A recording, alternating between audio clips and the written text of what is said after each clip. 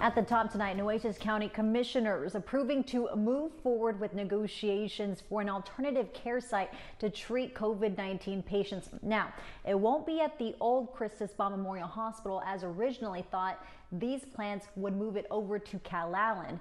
Details in tonight's top story.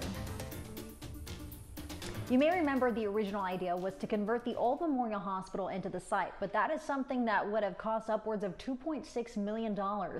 Some questioned whether it was worth the price tag for a building that was already slated to be knocked down. The new plan, which has already been approved by the hospital district, is used is to use part of Corpus Christi Medical Center's Northwest Hospital. The goal of the alternative site is to provide more beds for patients and take some of that pressure off of local hospitals that are at or near capacity.